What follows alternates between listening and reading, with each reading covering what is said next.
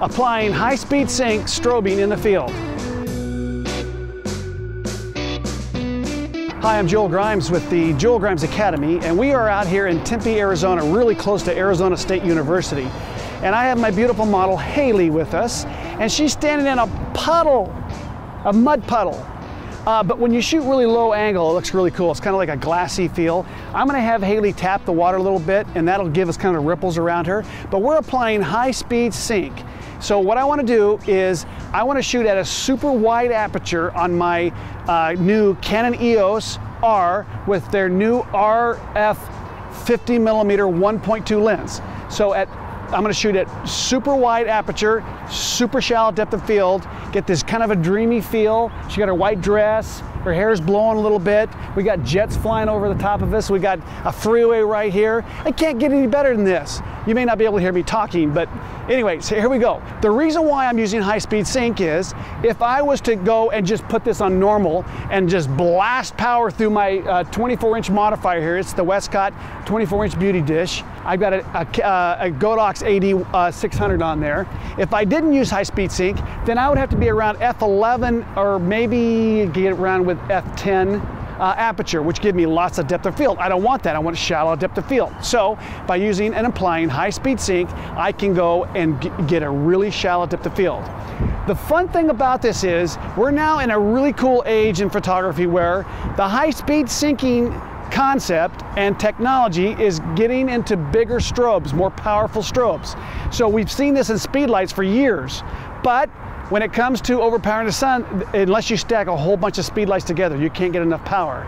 So with one strobe, one modifier, and a beautiful model subject out here in this kind of a crazy environment, I can do some fun stuff I could never do before. So let's have at it. I'm gonna get Haley stepping back out underneath the modifier.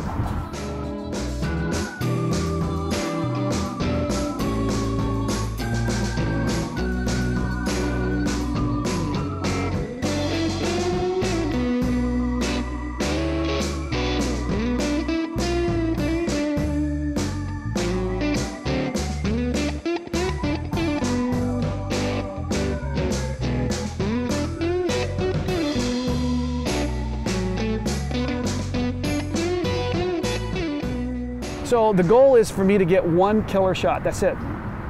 That's all I need. Oh, that's perfect. So I am I don't necessarily have to look through the lens. I have my, my viewfinder sitting right here.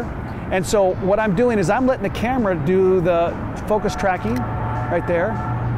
Do that looking out again. I like that. Kind of just tapping the water. And we have a train going by. We've got airplanes going by. We've got freeways behind us.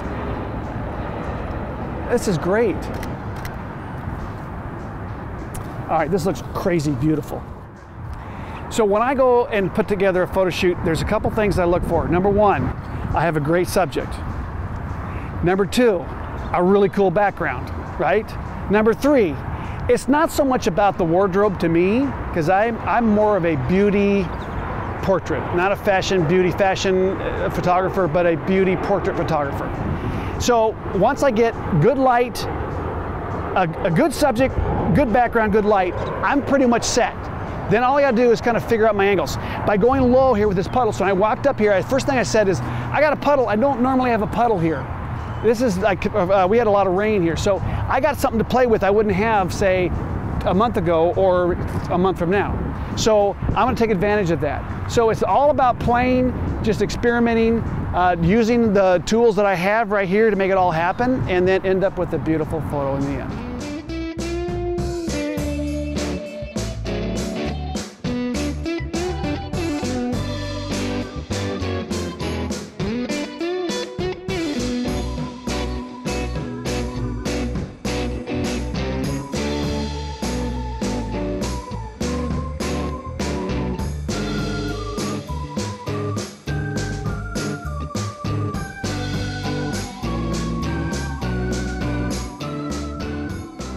All right, so we did a wardrobe change, which I think actually made all the difference in the world.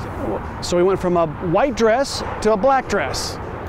So when it comes to a creative decision, it's very difficult what to do. That's the hard part. But we went with a black dress, and the results are off the charts amazing. So you get a chance to see those. So this makes your face pop a little bit more. So let's go back to what I said before, which is I'm a portrait photographer that does beauty, but not really fashion. So fashion isn't my thing. So a black dress is perfect for me because that makes your face pop. So Haley did a great job. We had a little bit of issue with the wind blowing the hair around. Sometimes that actually worked, but for the most time it was kind of a nuisance. But uh, all in all, Haley, you did wonderful. So thank you.